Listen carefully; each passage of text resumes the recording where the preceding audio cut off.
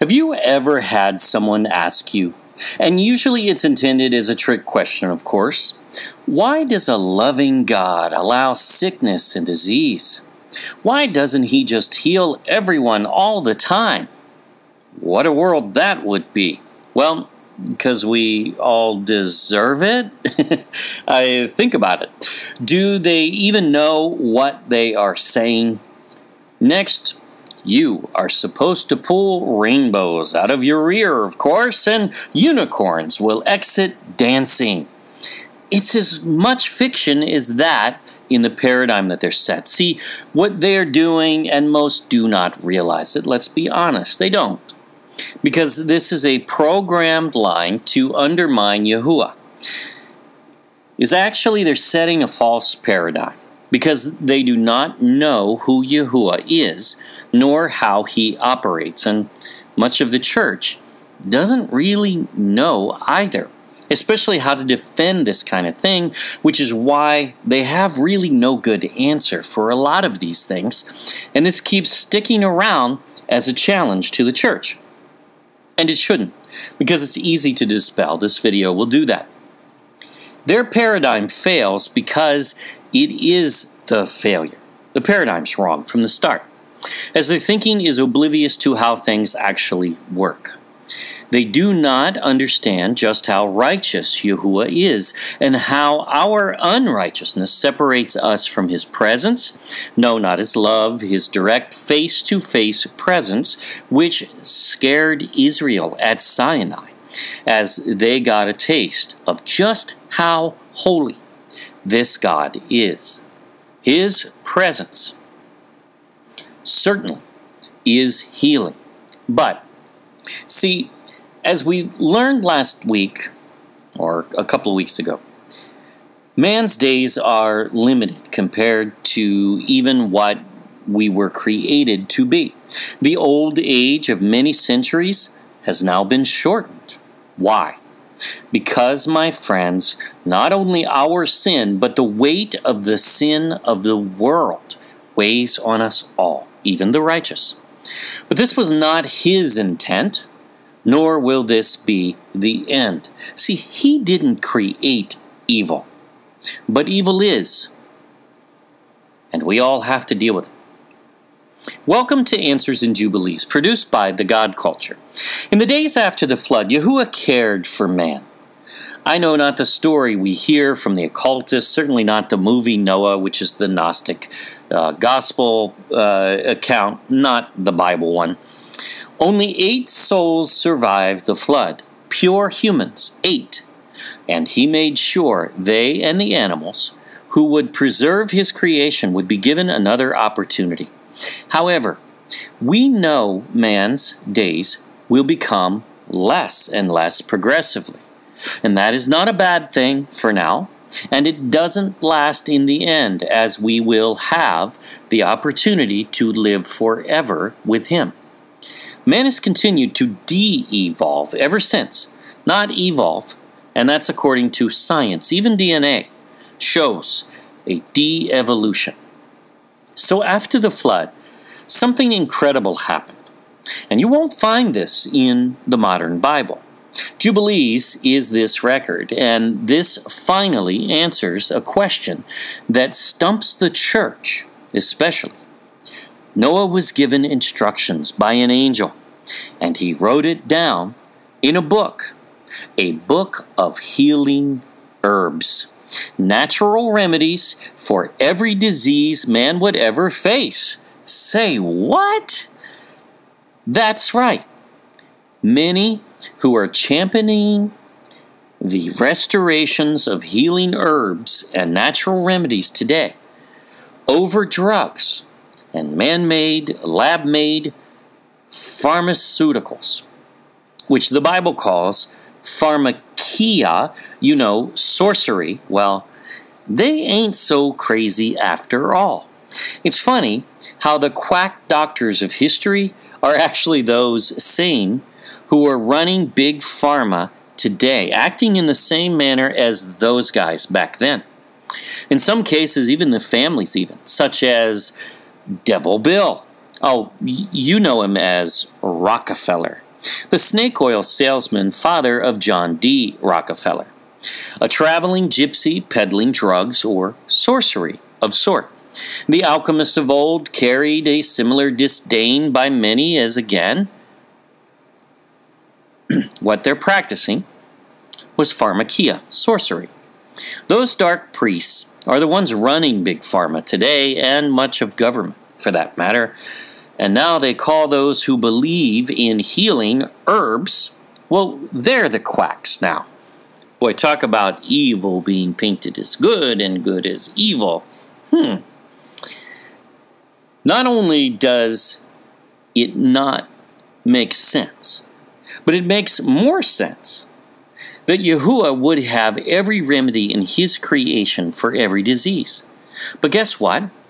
You will now have an answer for that question we began with. See, if he was saving mankind in the flood, replenishing an earth being destroyed by evil Nephilim, well, and Jubilees restores that as well as the book of Enoch. And then you start to understand Genesis has said it all along. You can't actually blame him anymore. And you can't call him a murderer because he is not. He's the Savior. And if after the flood, he then provided mankind with all that we needed in knowledge for healing every ailment, well, how about we stop blaming him because man keeps losing information and operates with negligence? That's not his fault. And in the end, though, we will find out and we'll even cover that today too, that man will no longer have such limits.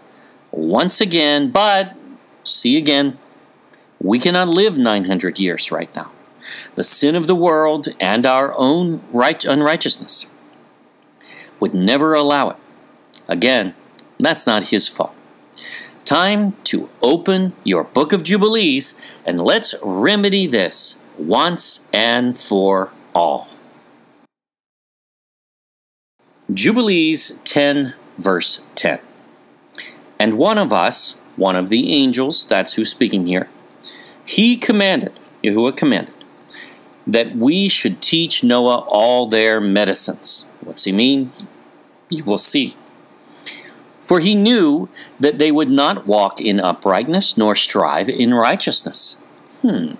Sickness, righteousness. Yeah, think about that. Now, here we have it again, just like a couple of weeks ago. What reason does the angel give for our needing medicines? Well, and he will tell you which kind he means, so don't worry, we'll get there.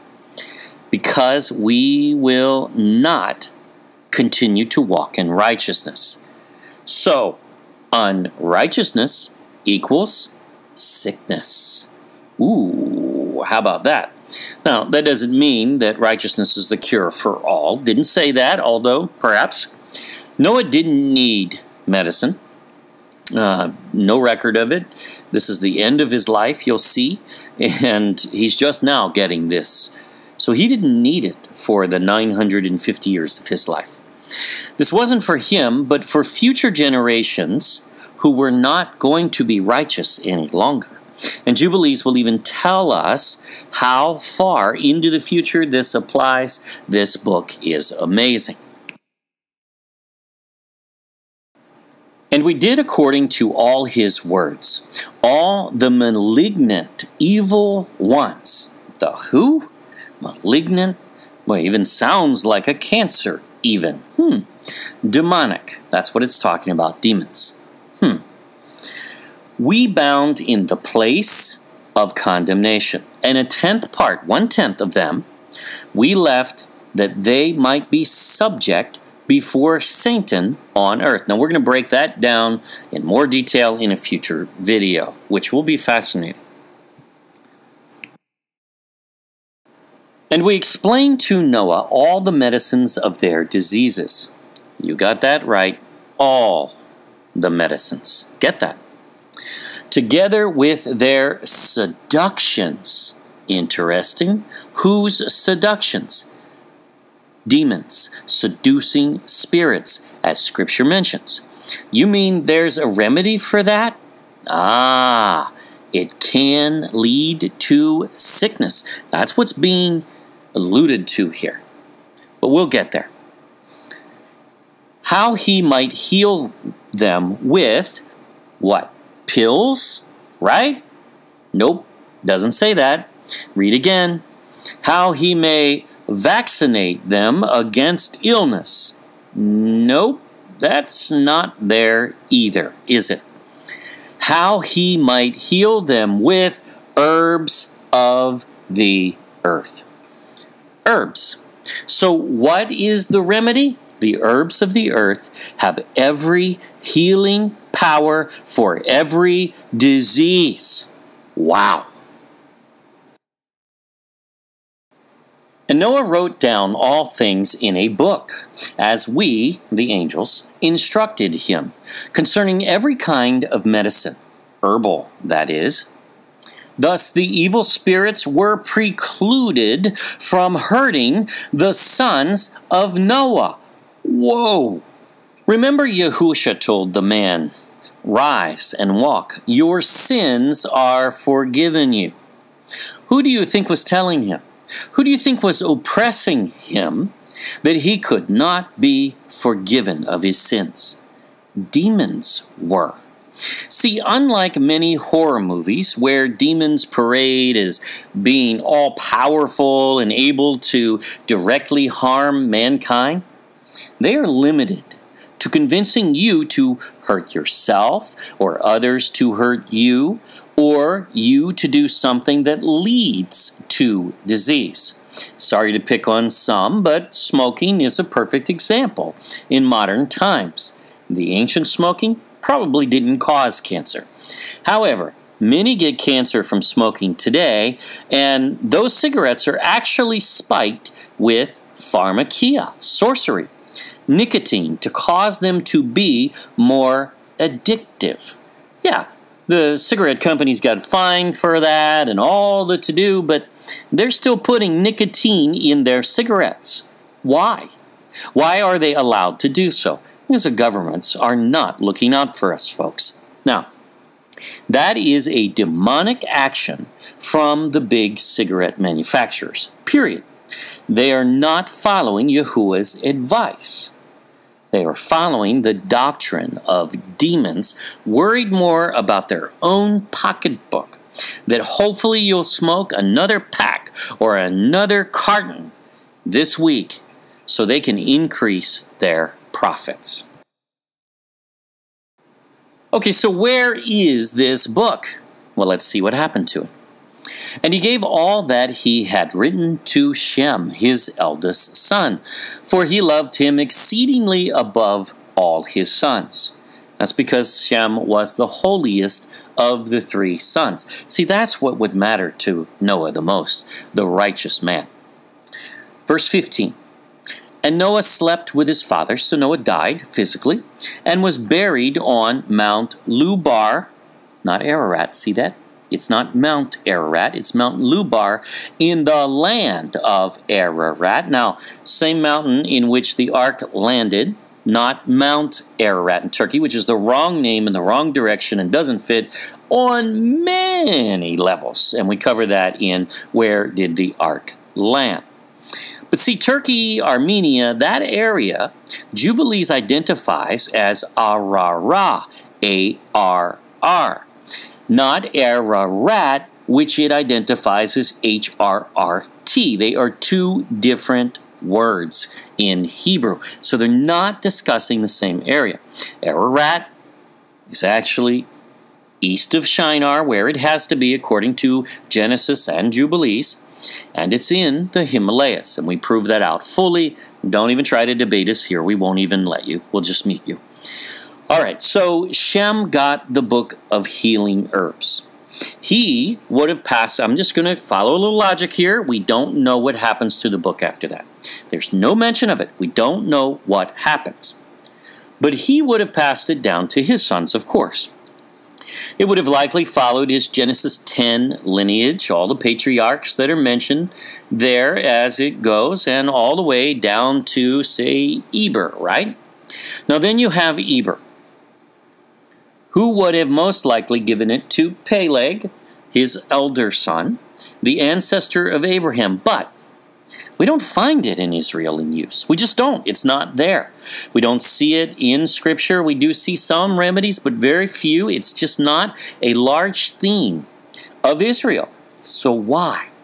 Well, we strongly believe that this means, and this is our speculation, this is our hypothesis, an educated guess based on all we know. Basically, that just as Jacob and Ephraim were the second born, but righteous, and they received the birthrights, though not customary, we strongly wonder, though we cannot prove, if this book did not continue with Joktan's lineage, Ophir, Sheba, and Havilah, who would have brought it, if so, to the Philippines, the land of Sephar, the Mount of the East, where the Garden of Eden is located. Now, we find even today people in the Orient have a far better handle on herbal medications. That's the topic here. That's the topic of Noah's writing. It's not lab medicines. It's not man-made medicines from that standpoint. Chemically, we're talking about healing herbs. And we wonder if that is not a residual in practice of such teaching because we see that in the Orient very prevalently. You see it in the Philippines, you see it even in China, you see it in Japan, and you see people living longer in that area in many cases. So, have we found the book? Nope, haven't. Went and looked at my backyard, haven't found it there. But we can follow the track of those who practice the remedies of the book, of using healing herbs instead of big pharma. It does make sense, but again, we cannot prove this out fully. Not yet. But fascinating this is. Now, while we're here in Jubilees, we again do not find this book of healing herbs mentioned in the Bible otherwise. However, we do find a couple more passages about healing in Jubilees which really truly are profound. So let's check those out. Jubilees 2:29, starting in the middle. From the day of the new creation, when the heavens and the earth shall be renewed. Now, that's the day of final judgment. Heaven was not renewed in the flood, so it's not that judgment, it's the final judgment and all their creation according to the powers of the heaven and according to all the creation of the earth until the sanctuary of Yahuah shall be made in Jerusalem on Mount Zion. Now, this is really odd because that's not talking in the context of the days of Moses, is it? That's not the day of final judgment. No, those days came and went, actually, and only lasted a few centuries. It's not Moses' era. This is the last days on the day of final judgment. The new Jerusalem and the original heavenly Mount Zion, which Paul alludes to as well as something different from the one in Israel named after it. Now, we're not going to go there this video. And all the luminaries, angels, be renewed for healing and for peace and for blessing for all the elect of Israel. That's those also grafted into his kingdom as well as lost tribes. It's believers. It is the ecclesia in full.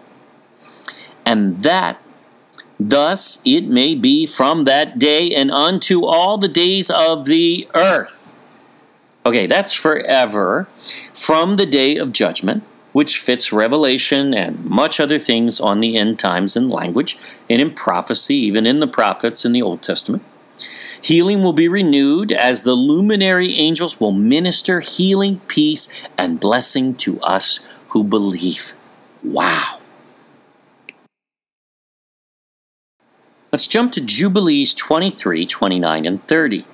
And all their days they will complete.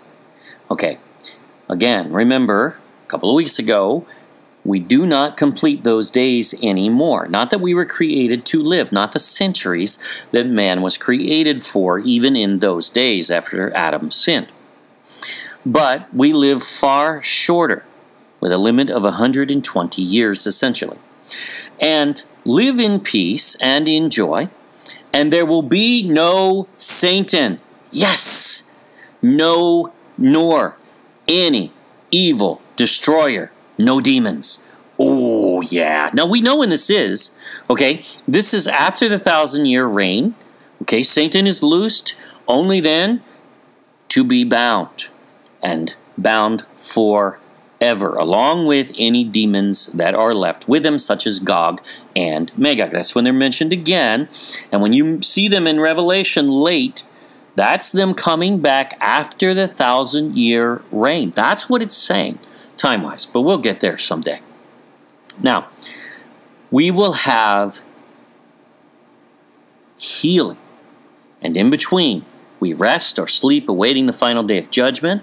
So, what's so bad about that, really, when you think about it? But let's, let's go and continue here. For all their days will be days of blessing and healing. Oh, yeah. And at that time, Yahuah will heal his servants. Wow, this is his way. See, his way that has been disrupted by a rebellious mankind and even angels. But no, not much longer. It is not going to last. This is a temporary state that we live in.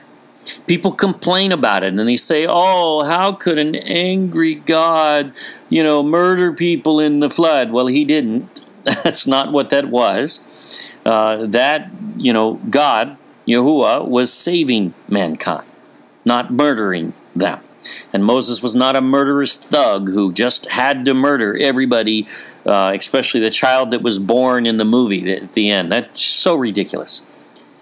And they will rise up and see great peace and drive out their adversaries. Amen. A taste of the end times here. And here, we're in the book written by Moses, guys, along with Genesis. Revelation language, the origin of Revelation largely, as well as the book of Enoch, you'll find several prophecies in both that tie and fit and do appear to be the origin. And even those trying to say, oh, but it wasn't written until 150 BC, well, that was a copy. That's when they dated the copy. That's not the actual one. But it doesn't matter. It's not even scientifically dated. It's a guess, really. But 150 BC is still almost 150 years before Messiah. So it's still prophecy. And Revelation is coming from it 200 years later. So they looked at this as scripture, you can see in that sense. So, how did they know? Well, the Qumran community is the bridge that brings the Old and New Testament communities together, as they are the same. They're both Old Testament and New Testament. Now, the mindset did not change with the New Covenant. We need to get that at some point. Now, this brings a whole new understanding to so much, as we can now understand Yahuah did care enough for us to leave a book of every healing herb we need for every disease. What is sad is no one knows where that went or where it is today. We don't know. It would likely be either with the lost tribes of Israel through the sons of Eber, or perhaps Eber gave it to his other son, Joktan, Joktan. And we believe that is far more likely because we don't find it in the times of Israel in the Bible in practice. And who knows, perhaps this will be part of the increasing knowledge Daniel predicted soon to be unfolded. Who knows? However, even if we never find it. It speaks volumes as to the value of researching herbal remedies. Yes, even for COVID, as opposed to someone forcing a vaccine that is untested and unproven, that may well have greater side effects than COVID for many. We don't know because they're not going to give it enough time to test it, but roll it out before they would ever have done it even a year or two ago. Even the Hippocratic Oath is broken in such application, becoming the Hippocratic Oath, I guess, as well as many constitutions do not allow a government to force such, but they are anyway. And we live in the era in which we live. This is still mild, though, folks, compared to what is coming. We must prepare. Are we in the end times? Yes. Are we in the tribulation? No, not yet. Much still needs to happen. But many will be forced to take the vaccine, though. And there's a lot of scary language surrounding it from several. And we've heard it, as many have. However, relax. If you are forced to take it in order to travel, especially to return to your home country, for instance, or even to work, which is an unthinkable paradigm, but one in which many of us face now. You need to do what you need to do, and do so with much prayer and fasting if need be. For those worried that the mark of the beast will be concealed somehow within this vaccine, we do not believe not even for a second. Just as demons could not touch you directly, just as Satan cannot harm you directly, or he would. He's a powerful angel, but he can't. Yahuah would protect you in taking the mark of the beast. In other words, if you take it, you are making a conscious decision to take it, whatever it may be.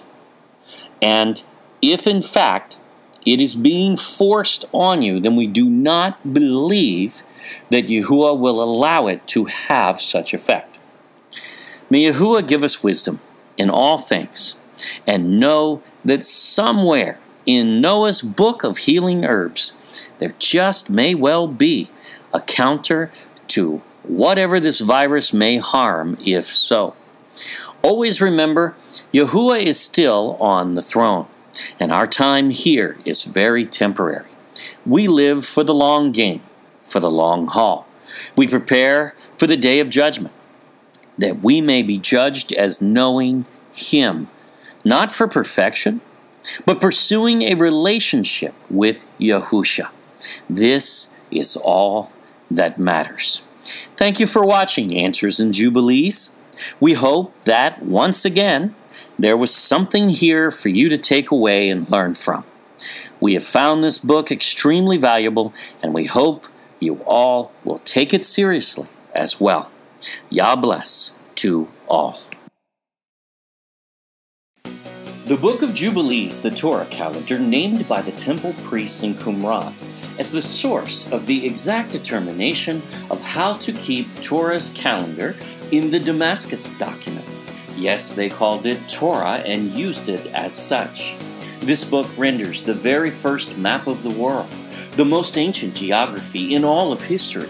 Jubilee is also known as the Book of Division, as Noah partitions the entire earth to his three sons, finds the Garden of Eden in the Philippines, pinpoints the seat of Gog of Magog's power, demonstrates continental divides originate with Noah, and much more. It is the second witness to Genesis and Torah and concurs. It tests as Torah, and we encourage you to review this full test for yourself in the beginning of this book. It was the priests who were exiled from the temple who lived in Qumran, known in Bible times as Bethabara, where Messiah was baptized and John the Baptist of temple priestly caste lived and operated as these were his fellow Levite priests exiled from the temple, who continued to keep Scripture there, as well as operate a function compound modeled in part after the temple. This is the only historic library of precedents for the Old Testament canon in ancient history, yet explained away in willing ignorance, just as 2 Peter 3 warned. Based on the R.H. Charles translation from the Ethiopic, this book will enlighten and its revelation will rock your world. As all 50 chapters appear in this book with curated and edited margin notes in large print Bible format, easy to read. This 288 page quality paperback has a high resolution section of maps that represent the world's oldest map by Noah. Read it and test it for yourself, and you will likely find, as we have, this book is inspired, even canon, in history. Available free worldwide in ebook, or purchase a print copy today on Shopee Philippines or Amazon internationally. Just go to bookofjubilees.org, and the links are there for your area. We also offer bundle pricing with our other books in the Philippines. Our books are already expanding now, being read in 52 countries and more than half of the provinces in the Philippines. Join thousands who are finding this useful in their lives.